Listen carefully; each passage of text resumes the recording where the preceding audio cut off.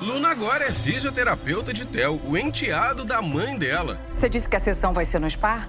É, parece que o Theo prefere. Então é melhor você esperar por ele lá mesmo. A sala é para uso apenas da minha família e dos meus convidados e você não é uma coisa nem outra.